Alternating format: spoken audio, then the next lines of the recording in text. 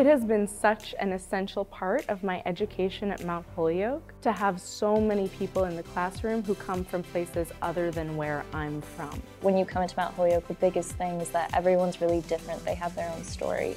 Being exposed to so many different kinds of people. It's a place where everyone is accepted no matter your background, your perspectives, where you come from. When I come back to Mount Holyoke, I feel so lucky to be a part of such a diverse, inclusive campus. Really just having that community to go back to at the end of the day um, has helped me feel like I belong here at Mount Holyoke. Everyone is coming in with these different life experiences, whether it be cultural diversity, religious diversity, socioeconomic diversity. And it's like traveling the world, but you're still in one place and you're meeting all these wonderful people. It's pretty great.